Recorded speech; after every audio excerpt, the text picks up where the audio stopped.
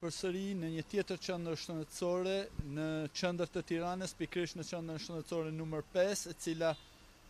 mbulon një numër të madh banorësh, pikërisht rreth 30.000 banorë, për të vërtetu dhe për të konstatu deklaratat e zyrtarëve tanë, qeveritarëve tanë dhe të kryeministrit tonë për gjoja masa të shtuara në kuadër të përballimit të koronavirusit të ri apo Covid nëntëmbëdhjetës. Ashtu si edhe në qendrat e mëpërparme që konstatuam, të njëjtat problematika edhe në qendrën shëndetësore numër pesë. Pra ka një fluks të shtuar pacientësh, ndërkohë që nuk ka absolutisht as edhe një masë shtesë për të përballu një pacient probabilisht të prekur nga koronavirusi i ri Covid nëntëmbëdhjetë. Gjatë konstatimeve tona brenda kësaj qendre dhe bisedave tona me personelin mjekësor shëndetësor, u ngrinte të njëjtat shqetësime për mungesë pajisjesh mbrojtëse për këtë personel shëndetësor, Mungesë informacioni për sa i përket mënyrave apo instruktim të personelit shëndetësor për mënyrat e përballjes me një situatë eventuale prekje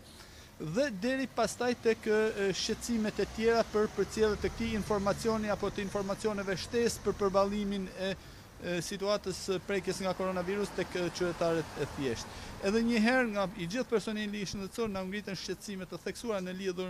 lidhur me mungesën e pajisjeve të duhura dhe këtu e kam fjalën për mungesën e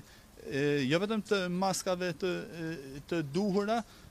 atyre të famshmeve N nëntëdhjetë e pesë, por edhe të maskave të thjeshta kirurgjikale, tani më kanë vështirësi t'i gjejnë, në shumicën e rasteve i gjejnë me forcat e tyre mjekët dhe personeli shëndetësor, mungesën e tutave mbrojtëse në rast paraqitjet nevoje të paktën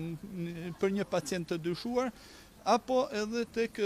mungesa e vizierave të duhura për mbrojtjen e mukozave, për të cilat nuk diskutohet absolutisht. Në një tjetër aspekt i rëndësishëm, i cili na u ngrit si shqetësim nga personeli mjekësor, ishte përjashtimi total i strukturës së shëndetit publik apo sistemit parësor, mjekëve të sistemit parësor, Nga struktura apo grupi i punës. Një përjashtim i cili reflektohet nga qendra deri në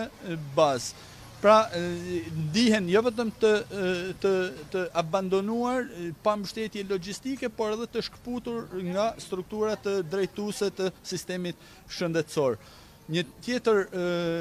një informacion tjetër që morëm nga pikërisht nga personeli shëndetësor i kësaj qendre ishte sepse në disa raste qytetarë të ndryshëm të cilët kishin ardhur nga Italia kishin shfaqur temperatura pak mbi normalen kishin kërku të bënin tamponin për të përjashtu të bënin ekzaminimet e duhura për të përjashtu mundësinë e prekjes nga koronavirusi dhe ishin përcjellë duke u thënë që do të do të bëjmë një ekzaminim të tillë vetëm në qoftë se temperatura kalon 38 gradë. Të njëjtin shqetësim e paraqitën edhe personeli shëndetësor i cili kërkoi që të përcillet shqetësimi i tyre për ekzaminimin në masë të tyre pasi e ndjejnë veten në vijë të parë në përballjen e një situate problematike shpesh herë siç e thonin vetë ata Ne përballemi me pacientë të cilët kanë simptoma të njëjta, shumë të ngjashme me koronavirusin e ri dhe nuk dimë cila mund të jetë mënyra e vërtetimit apo e përjashtimit të prekjes tonë nga ky koronavirus i ri. Pra, në një farë mënyre kërkuan që të kushtohej jashtëzakonisht më shumë vëmendje, ndihen, siç e thashë edhe më përpara, të abandonuar, jo vetëm për sa i përket vetes së tyre si personel shëndetësor, por edhe për sa i përket masave që duhen marrë në kuadër të mbrojtjes së jetës së qytetarëve